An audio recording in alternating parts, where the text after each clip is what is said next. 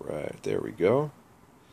Okay, this is my 0.8 carat excellent round cut VVS2 J colored diamond from JamesAllen.com that they set in a uh, platinum pave setting for me.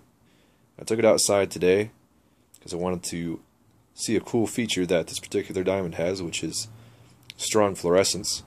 So if I back up into the sun here, my camera is willing to adjust, there it goes, you can really see that blue hue that it has to it. And said in the packet that they gave to me that 25 to 35% of all diamonds have some degree of fluorescence, but only 10% of those have noticeable uh, medium to strong fluorescence. So only about 3% of diamonds have it. And if you're going to go into the uh, lower color ranges to try to save a little bit of money at least, which is uh, in the K or even lower than that range, um, fluorescence is a good thing because it can offset any yellow or brown that uh, might be in the diamond, which you really can't see on this.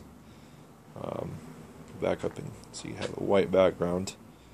Really can't see any sort of color. It looks it looks colorless. Um, and of course, with that strong blue hue, it just looks pretty cool in the sun versus no fluorescence.